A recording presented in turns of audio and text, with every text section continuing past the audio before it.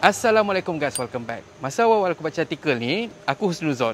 Mungkin aku terbaca artikel lama. Mungkin artikel ni diorang keluarkan tahun 2008. Lepas tu untuk kepastian aku tengoklah tarikh artikel ni dibuat. Eh, ini artikel semalam. Detik aku dalam mati dan yang menambahkan keyakinan aku sebab ada video yang dikongsikan dekat artikel tu yang berasal daripada TikTok. Kisahnya ada pengguna media sosial yang berkongsi luahan hati sebab rasa kesal dan juga kecewa dengan pengurusan sebuah bank yang menyusahkan pelanggan sendiri. Nak dijadikan cerita kad bank mak kepada individu yang dikenali sebagai Hatini ni dah pun tamat tempoh dan nak tak nak diorang terpaksa tukar kad bank tu kepada kad yang baru memandangkan duit pencen arwah ayah kepada Hartini dibayar dekat bank tu dan juga duit tu digunakan setiap bulan untuk beli pampers dan juga barang keperluan mak Hatini yang lumpuh dan juga uzur. Dan dekat sinilah yang aku pelik dan terkejut. Hatini terpaksa sewa ambulans dengan duit sendiri untuk bawa mak dia pergi bank untuk uruskan proses tukar kad baru dan yang bertambah mengecewakan diorang ialah sebab diorang terpaksa usung pula mak diorang masuk dekat dalam bank sebab urusan tak boleh dilakukan dekat luar bank. Ha, kalau macam ni Uncle Kentang pun tak boleh nak tolong lah. Memang kena masuk ke dalam. Dalam zaman sebut canggih macam ni, kepala otak aku tak boleh nak masuk dengan apa yang jadi. Sekarang ni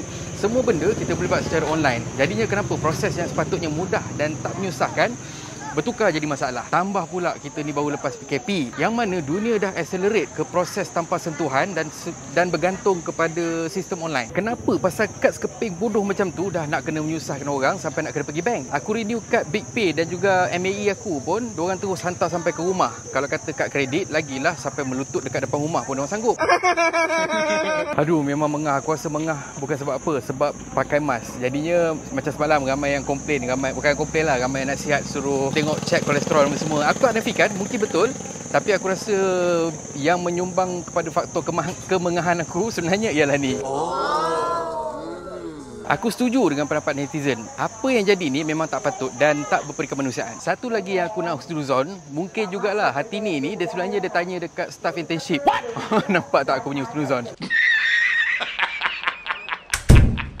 Gurau je. Pada aku lah kan, mungkin kita dengar daripada sebelah pihak je. Kita tak tahu apa lagi masalah sebenar yang timbul yang buatkan bank tak dapat nak uruskan benda ni semua secara online. Nanti kalau kata diorang dah keluarkan statement dan juga statement tu statement bangang, aku sambung maki tanpa hijab.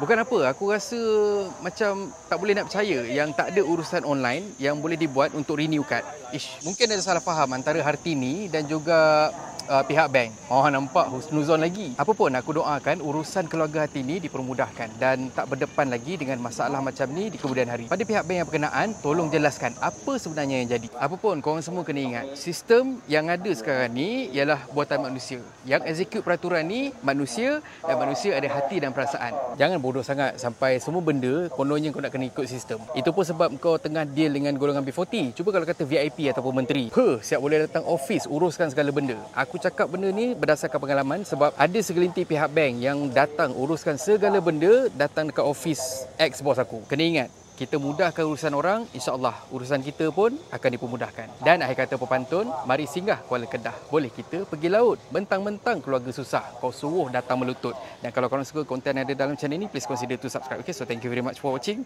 and have a nice day. Assalamualaikum.